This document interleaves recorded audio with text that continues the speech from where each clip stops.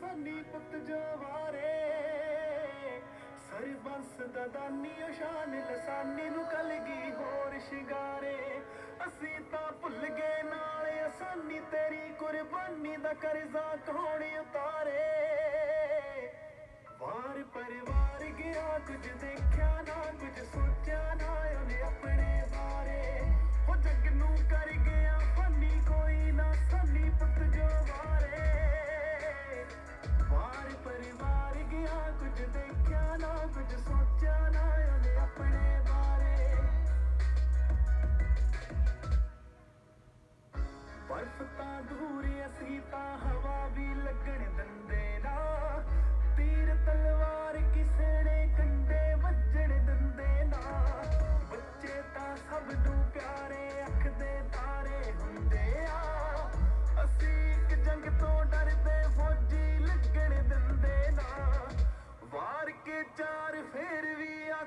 ਜੀਵਤ ਕਈ ਹਜ਼ਾਰੇ।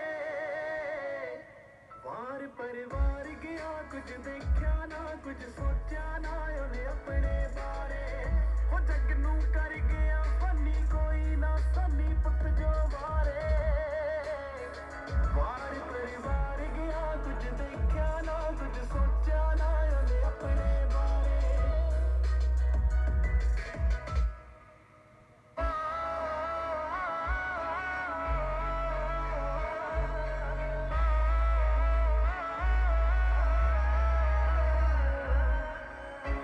ਕੀਰਤਨੀ ਕਰਦੇ ਨਾਮ ਕੀ ਜਪਣਾ ਬਾਣੀ ਸੁਣ ਲੈਂਦੇ ਬਣਦੇ ਜੋ ਕਥਾ ਦੇ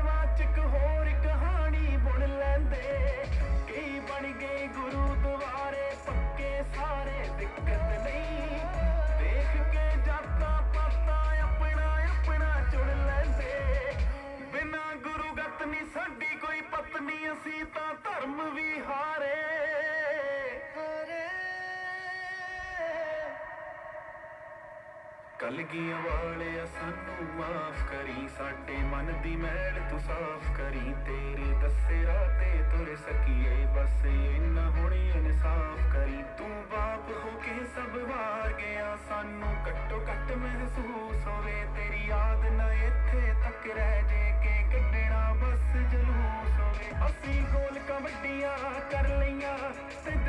ਛੋਟੇ ਕਰ ਦਿੱਤੇ ਉਹ ਸੋਚ ਤੇ ਪੜਦਾ ਚਾਰ ਲਿਆ ਗੁਰੂ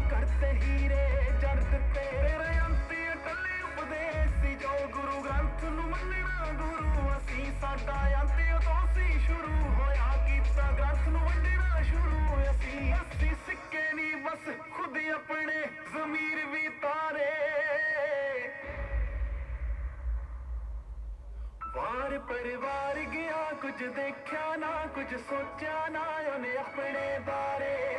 ਹੋ ਜੱਗ ਨੂੰ ਕਰ ਗਿਆ, ਫਨੀ ਕੋਈ ਨਾ, ਸਾਨੀ ਪੁੱਤ ਜੋ ਵਾਰੇ।